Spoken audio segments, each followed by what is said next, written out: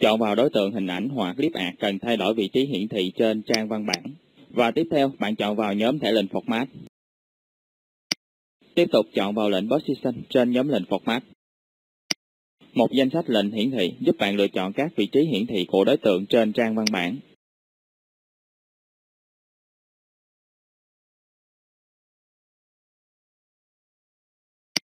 Bạn hãy lựa chọn một vị trí thích hợp tùy thuộc vào việc định dạng trang văn bản của bạn.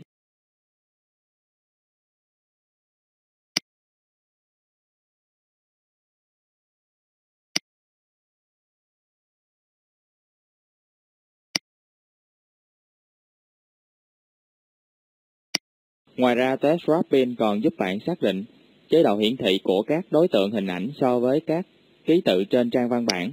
Khi bạn nhấn chọn vào test wrapping thì một danh mục các chế độ hiển thị hiển thị giúp bạn lựa chọn.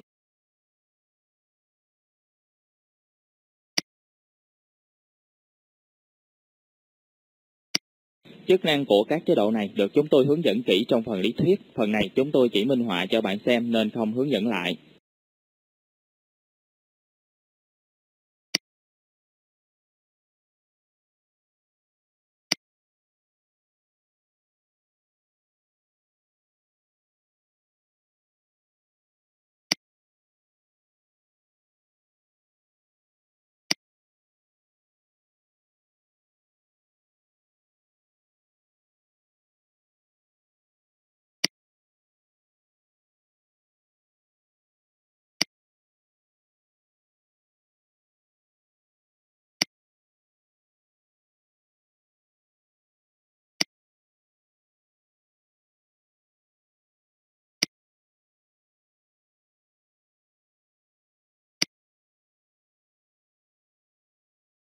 Ngoài việc thay đổi vị trí hiển thị bằng các biểu tượng lệnh trên thanh format, bạn cũng có thể nhấn giữ chuột lên trên đối tượng và kéo để di chuyển đến một vị trí mới.